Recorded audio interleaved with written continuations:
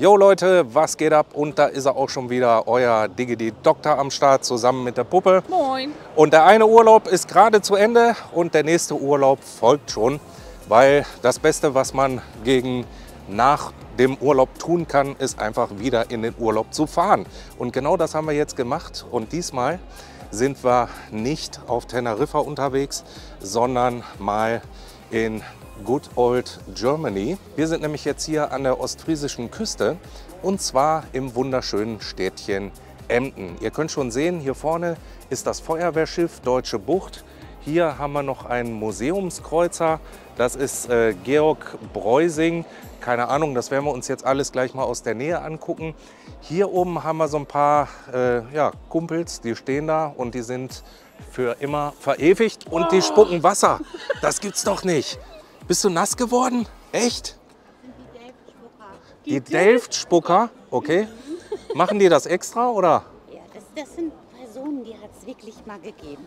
Ja. Da stehen ja die Namen. drauf, Okay. ne? Ja, wollte ich gerade lesen. Aha. Also hier, ja genau, Jan Rehbein ne? und Aha. Leling und äh, da, oder nee, da stehen ja noch zwei. Aha, okay. Ja, man muss ein Lena bisschen aufpassen. Und Joke Renne, so. Joke Rinne, Der spuckt, da kann man das ja sehen. ja, Und äh, vor dem Krieg war hier im Binnenhafen, da war das ja doch alles ein bisschen anders, ja, lagen hier immer so kleine Schiffe okay. Und alle hatten, eine Arbeitslosigkeit, die ging ja in die Millionen. Ja. Jeder suchte einen Tagesjob. Und dann haben die Männer hier immer rumgelungert, Kautabak gekaut. Jetzt hat er und, wieder äh, gespuckt. Ich glaube, wir nee, stehen hier falsch. Nee, der macht gleich einen hohen Bogen. Das Ja? geht über uns Gib rüber, wenn wir dran stehen. Und dann haben die immer Kautabak im Mund gehabt und immer die Unsitte gehabt, hier in den Delft zu spucken. Aha, okay. So, und das, äh, das, dieses gibt Originalbilder von früher. Da ist er. So, da ist er Siehste? wieder, ne? Da hat er wieder gespuckt. Und äh, da war das wirklich so, dass sie da mal, das war ja eigentlich unflätliches Ja, Benehmen, ne? ja, ja, das kann man so sagen. So, und äh, dann hat irgendeiner gesagt, Mensch, die müssen wir nochmal festhalten. Ja. Die gibt es auch in Büchern abgebildet. Okay. Und somit haben wir jetzt den Gag, also wenn es nicht friert, dann spuckt er ein bisschen Aha. äh, kein Kautabak, sondern dann Normales Wasser. Wasser. Okay. normales Wasser. Ist nichts Ekeliges, Ja. aber ist süß. Und die haben wirklich Ja. alle dreimal gelebt. Ne? Okay. Aha. Und ich gehöre zu den Stadtführern. Ich hatte Ach so, Sie sind Führung. Stadtführerin. Ja, perfekt.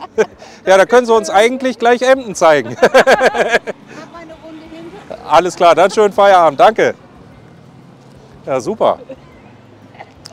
Ja, so muss ein Video beginnen, Freunde. Wir haben direkt äh, ja, die komplette Einleitung und Erklärung zu den drei Stadtmusikanten oder Kautabakspuckern hier bekommen. Ja, und von hier aus haben wir jetzt einen wunderschönen Blick auf den Delft. Ne? Delft heißt das hier, glaube ich. Ja. Wunderbar. Ja, wir gehen mal weiter.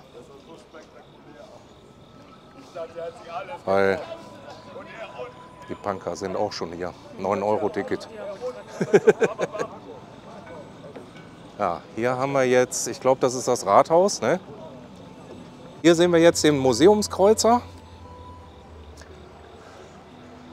Georg Breusing.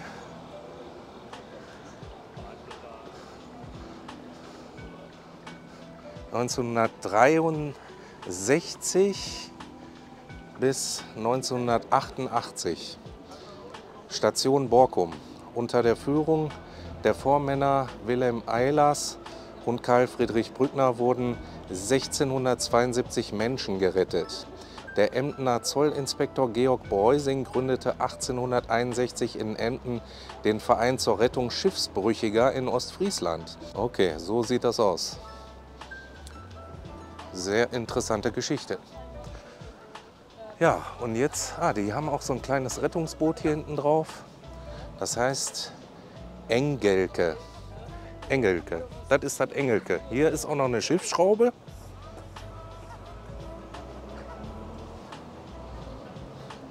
Und hier sehen wir jetzt das Feuerschiff Restaurantmuseum Deutsche Bucht. Also schon ein ziemlich großer Kahn. Kann man nicht anders sagen, ne? Das ist schon gewaltig, ne? Feuerschiff, Museum, Restaurant. Gucken wir mal. Für die nächsten 25 Jahre fahrbereit. Okay. Ich gucke mich das mal so ein bisschen an hier.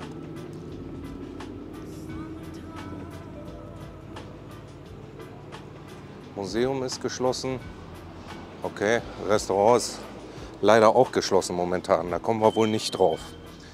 Ja, dann würde ich sagen, gehen wir hier mal einfach weiter.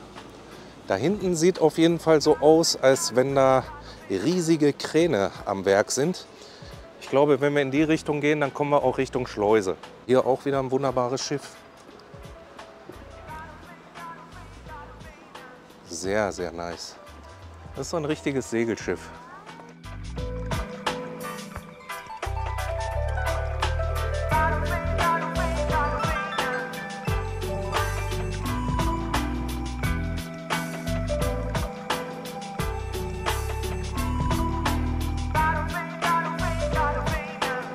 So, wir sind jetzt hier wieder ein bisschen zurückgelaufen, weil da vorne kommen wir nicht weiter.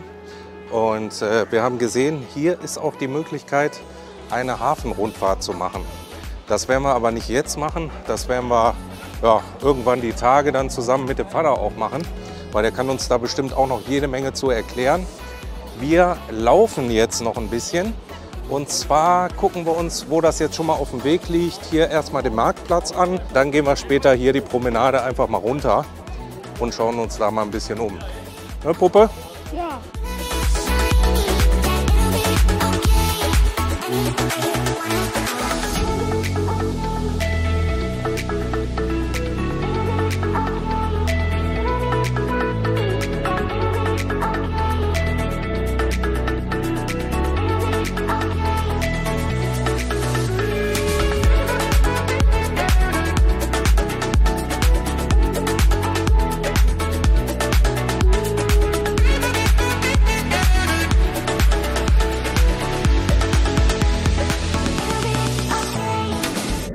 Jetzt mal über diese Zugbrücke hier.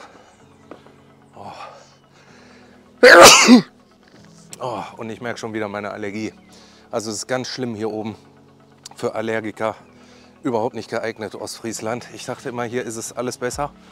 Oh, aber so viel Pollen wie hier habe ich noch nirgendwo erlebt. So, jetzt gönnt euch Zugbrücke.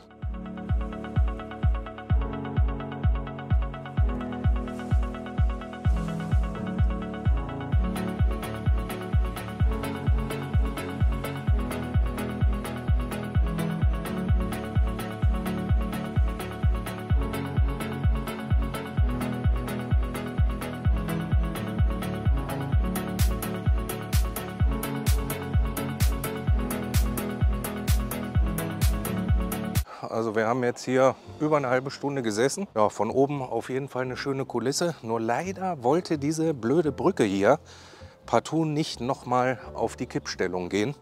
Also ich hatte alle Kameras installiert und hatte mich da sehr drauf gefreut. Ja, und ausgerechnet dann zehn Minuten vorher, bevor wir hier waren, war die Brücke auf. Und jetzt wird es wahrscheinlich wieder Tage dauern, bis diese Brücke sich hier wieder öffnet und der Doc hier mit der Kamera sitzt. Ich bin gespannt, ob wir das noch erleben werden. Das hat mein Vater früher immer gesagt. Ne? Ich bin mal gespannt, ob ich das noch erleben darf. Naja, und genau denjenigen suchen wir jetzt auch, weil der ist irgendwie immer noch im Hotel. Und ich bin mal gespannt, wann, wann und wo wir den treffen werden.